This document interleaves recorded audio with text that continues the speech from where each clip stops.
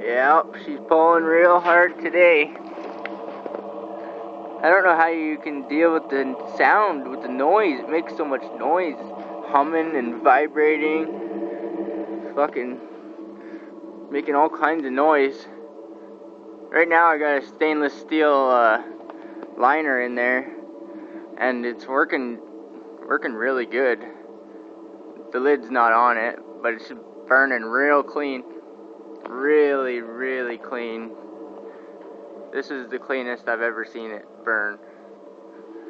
And it's burning really hot with that secondary air gap. All that air there, that gap, all the air that goes through there passes beyond the fire. And it's not preheated. And it's working real good. That secondary air, in case anybody wonders, it works, it helps like a lot. It makes a big difference.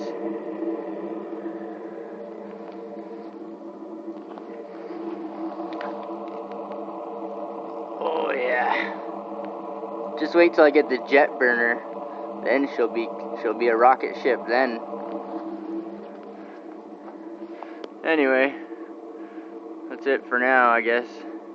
I'm gonna get some temperature readings here today.